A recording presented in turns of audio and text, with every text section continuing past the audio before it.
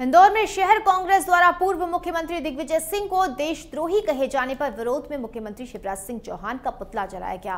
कांग्रेस कार्यालय पर आक्रोशित कांग्रेसी कार्यकर्ताओं ने सीएम शिवराज सिंह के खिलाफ जमकर नारेबाजी की। इंदौर शहर के कांग्रेस कार्यकारी अध्यक्ष देवेंद्र सिंह ने बताया कि बीजेपी में कई नेता भी आतंकी गतिविधियों में शामिल है। जो आतंकी गतिविधियों में खुद शामिल है, वो दिग्विजय सिंह पर देशद्रोही होने का आरोप लगा रहे हैं।